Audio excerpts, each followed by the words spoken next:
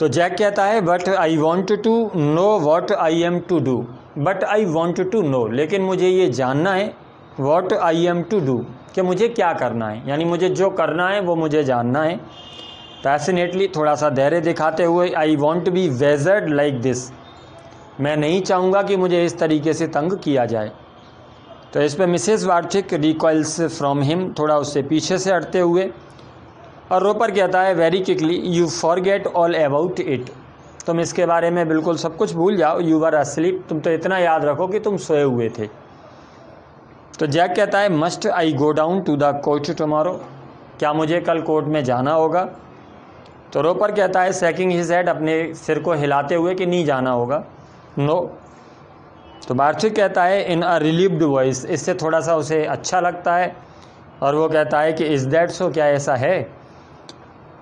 तो इस पर रोपर कहता है, यस. तो बार्थिक कहता है, but you will go Roper, लेकिन तुम तो जाओगे रोपर. तो इस पर रोपर कहता है, यस. जैक, विद चीयरफुलनेस थोड़ा सा प्रसन्न होते हुए, थैंक्स फुली, बहुत बहुत बहुत धन्यवाद। So long as I don't have to go. So long कब तक? As I don't have to go, मुझे नहीं जाना होगा।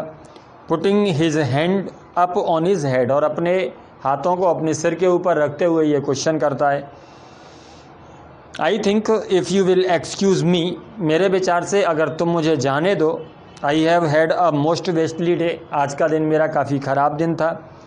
He looks from his father to his mother और इसके बाद ये कहते हुए वो अपने पिता की ओर और, अपनी माँ की ओर देखता है। यानी अब वो वहाँ से जाना चाहता है। तो इस पर मिसेस वार्थिक जो होती हैं टर्निंग क्विकली अचानक से मुड़ते हुए गुड नाइट माई बॉय वो सबसे पहले उन्हें इजाज़त उसे इजाज़त दे देती हैं कि तुम चले जाओ तो वो गुड नाइट पहले कर लेती हैं। तो इस पर जैक कहता है good night mother he goes out वो बाहर जाता है और जो मिसेस वार्थिक होती हैं हीप्स असाई एक बड़ी गहरी सी आह भरते हुए सांस लेते हुए। देयर इज़ अ साइलेंस और इसके बाद एकदम से स्तब्धता, शांति सी रहती है। Barthwick he gets off too easily वो बड़ी आसानी से चला जाता है। यानी वो उसके लिए सोचता है कि तुम कितनी आसानी से चले गए। बट फॉर माई मनी लेकिन मेरे पैसे के लिए that women would have prosecuted him कि वो औरत उस पर केस करेगी। तो रोपर कहता है कि यू फाइंड मनी यूज़फुल तुम पैसे को उपयोगी समझते हो। तो वार्थिक कहता है कि आई हैव माई डाउट्स कि मेरे अपने कुछ संदेह हैं whether we ought to hide the truth क्या हमें ये सत्य छुपाना चाहिए? तो रोपर कहता है कि there will be a remand कि उसे रिमांड पर लिया जाएगा। बार्थू कहता है कि वॉट क्या? Do you mean he will have to appear on the remand क्या तुम्हारा ये कहने का मतलब है कि he will have to appear उसे अपियर होना पड़ेगा ऑन द रिमांड रिमांड पर? तो रोपर कहता है यस तो बार्थू कहता है हम। I thought you would be able to look here मेरे ख्याल से तुम योग्य हो। यहाँ देखो Roper you must keep that purse out of the papers तो मैं इस पर्स को भी पेपर से अलग रखना है, यानी इस पेपर की, इस पर्स की बात भी पेपर में नहीं आनी चाहिए। तो जो रोपर होता है fixes his little eyes on him and notes तो रोपर अपनी आँखों को, अपनी छोटी छोटी आँखों को उसके ऊपर थोड़ा सा देखता है, यानी उसकी ओर आँखों से देखता है एंड नोट्स और गर्दन को हिलाता है कि ठीक है, नहीं आएगा। इस पर जो मिसेज वार्थिक होती हैं, Mr Roper don't you think the magistrate ought to be told what sort of people these Jones are don't you think क्या तुम्हें ऐसा नहीं लगता? The magistrate ought to be told कि मजिस्ट्रेट को बताया जाना चाहिए what sort of people these Jones are कि ये जो जोन्स हैं, यानी ये जो दोनों पति पत्नी हैं, वो किस प्रकार के लोग हैं? I mean about their immorality I I mean mean, मेरा मतलब है उनकी अनैतिकता के बारे में बिफोर देवर मैरिड उनकी शादी से पहले की जो अनैतिकता है उसके बारे में। I don't know if Jones told you मुझे नहीं पता कि जोन ने तुम्हें ये बात बताई है कि नहीं बताई। तो इस पर रोपर कहता है कि afraid it is not material भय इस बात का है कि ये बताना आवश्यक नहीं है। तो इस पर जो मिसेस वार्थिक कहती हैं नॉट मटेरियल आवश्यक नहीं है। तो रोपर कहता है कि प्योरली प्राइवेट लाइफ ये पूर्ण रूप में उनका व्यक्तिगत जीवन है। May have happened to the magistrate तो बार्थिक कहता है with a movement as if to shift a burden with a movement as if मानो कि टू शिफ्ट अ बर्डन किसी वज़न को छुपा रहा हो। तो थोड़ी देर में बार्थिक जो होता है, किसी वज़न को छुपाते हुए ऐसा लगता है कि छुपा रहा हो और कहता है then you will take the things into your hands कि तब तुम सारी चीज़ों को अपने हाथ में रखो। रोपर कहता है कि if the gods are kind कि यदि भगवान की कृपा रही he holds his hand out तो बार्थवे कहता है shaking it judiciously kind what you going और वो कहता है, हाथ को थोड़ा सा हिलाते हुए, बड़ी विनम्रता से कि वॉट यू गोइंग क्या तुम जा रहे हो? तो रोपर कहता है yes I have another case कि मेरे पास कोई दूसरा केस है समथिंग लाइक योर्स कुछ कुछ तुम्हारे जैसा. मोस्ट अनएक्सपेक्टेड और बिल्कुल अप्रत्याशित केस है मेरे पास। ही ब्लोज टू मिसेस वार्थिक और ही बोज टू मिसेस वार्थिक वो मिसेस वार्थिक की ओर झुकता है एंड गोज़ आउट और बाहर जाता है। फॉलोड बाई वार्थिक वार्थिक के साथ साथ चलता हुआ टॉकिंग टू द लास्ट और लास्ट तक दोनों जब घर से बाहर तक जाते हैं तो अंत तक दोनों एक दूसरे से बात करते हैं। Mrs Barthwick at the table verse into smothered sobs और जो मिसेस वार्थिक होती हैं जब वो चले जाते हैं तो इसके बाद रो पड़ती हैं।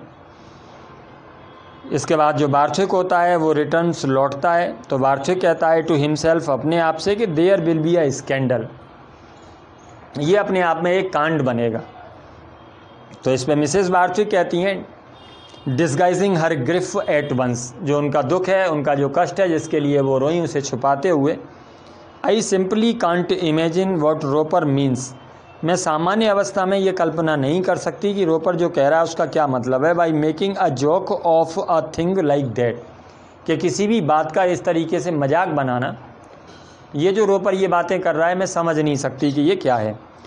तो बार्थिक कहता है staring strangely you you can't imagine anything तुम तो कुछ भी कल्पना नहीं कर सकती। You have no more imagination than a fly यानी तुम्हारे पास किसी भी प्रकार की कोई कल्पना नहीं होती। इस पर मिसेस वार्थिक एंग्रीली थोड़ा उस पर क्रोधित होती हैं। You dare to tell me what you dare to tell me that I have no imagination क्या तुम ये कहना चाहते हो कि मेरे पास कोई कल्पना ही नहीं है? तो वार्थिक कहता है फ्लस्टर्ड थोड़ा सा घबराते हुए कि आई आई एम अपसेट मैं इस समय थोड़ा सा अपसेट हूँ, दुखी हूँ। फ्रॉम बिगनिंग टू एंड यानी ये जो केस है, इस केस को लेकर के, मैं प्रारंभ से लेकर के बहुत ज़्यादा दुखी हूँ। The whole thing has been utterly against my principle क्योंकि ये जो केस है, इस केस की जो बातें हैं, उसमें सारी बातें मेरे सिद्धांतों के खिलाफ जा रही हैं। तो इस पर मिसेज वार्थिक कहती हैं कि रबिस कितना बकवास है। You haven't any your principle are nothing in the world but sheer fright कि तुम्हारी, जो तुम प्रिंसिपल की बात करते हो, जो सिद्धांत की बात करते हो, वो कोई सिद्धांत नहीं है। वो सीधे के, सीधे सीधे कहती है कि your principle are nothing in the world but sheer fright एक हल्के से डर के सिवाय ये सब कुछ नहीं। है तो वार्थक कहता है walking to the window window की ओर चलते हुए कहता है कि I have never been frightened in my life मैं अपने पूरे जीवन में कभी डरा नहीं हूँ। यू हीयर तुमने सुना वॉट रोपर सेट जो रोपर ने कहा. It is enough to upset one when a thing like this happen it is upset ये बड़ा दुखद होता है it is enough to upset ये अपने आप में बड़ा दुखद है। When a thing like this happen जब कोई भी बात इस तरीके से घटित होती है। Everything one says and does seems to turn in one's mouth it is it is uncanny तो एवरीथिंग वन सेज कोई जो कुछ कहता है एंड डज और करता है seems to turn in one's mouth यदि वो बातें अपनी ओर अपने ऊपर लागू होती हुई दिखती हैं it is it is uncanny तो वो बात काफ़ी डरावनी होती है। It is not the sort of thing I have been accustomed to और वो सीधे सीधे कहता है कि ये इस प्रकार की कोई बात नहीं है जिसका मैं आदि रहा हूँ। As though stifling he throws the window open फिर वो थोड़ा सा जाता हुआ विंडो को खोलता है। The faint sobbing of a child comes in किसी बच्चे की हल्की सी जो रोने की सुखबुगाहट है वो उसकी ओर आती है। और फिर वो कहता है कि वॉट इज़ दैट ये क्या है? दे लिसन फिर वे दोनों इस आवाज़ को सुनते हैं।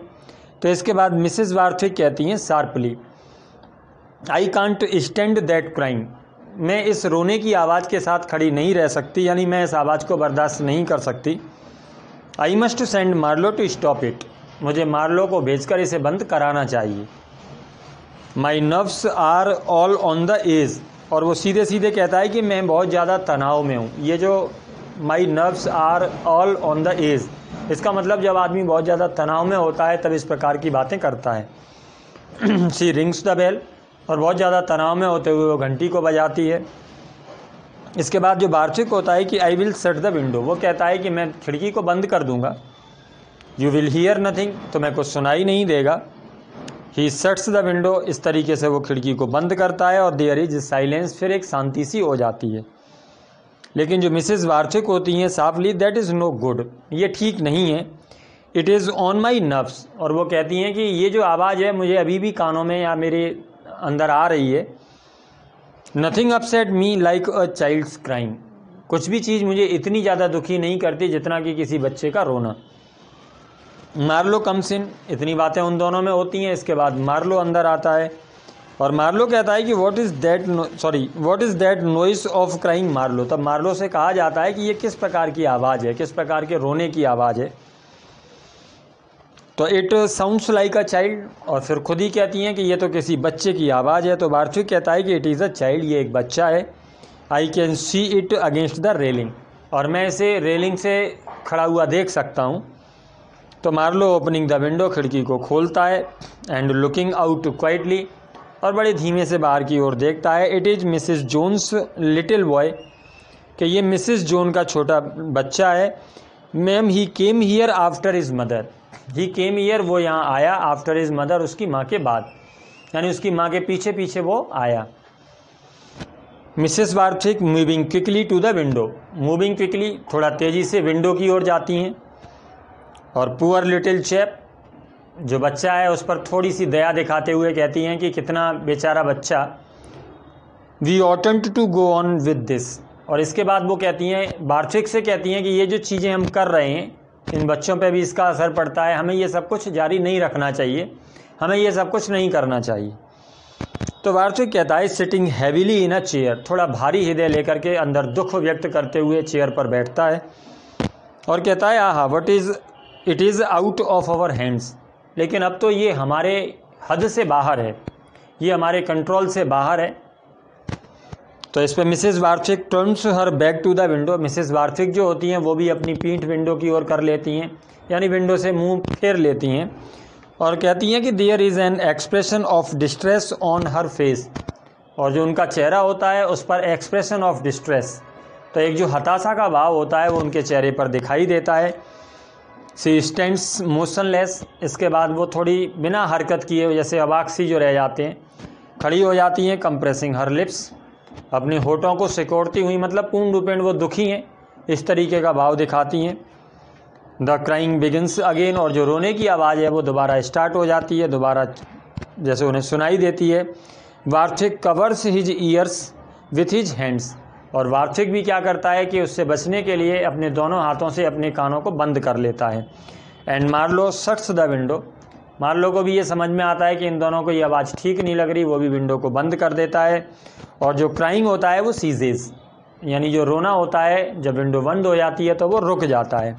द कर्टेन फॉल्स और इसके बाद ये जो पर्दा होता है वो गिर जाता है। तो ये आपका जो एक्ट सेकंड का सीन सेकंड है, वो कंप्लीट हो गया।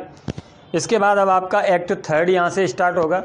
लेकिन जैसा मैंने हर बार आपको बताया कि सबसे पहले आप लोग जो इसमें एक्ट हैं, उनके अलग अलग क्वेश्चन भी दिए हुए हैं। तो सबसे पहले आप यहाँ सेकंड जो एक्ट है आपका, उसके क्वेश्चन कर लें। और उसके बाद मैं आपको थर्ड एक्ट को भी रीड कराऊँगा और फिर उसके क्वेश्चन करेंगे। ठीक? तो चलिए एक एक करके इसके क्वेश्चन और देख लेते हैं।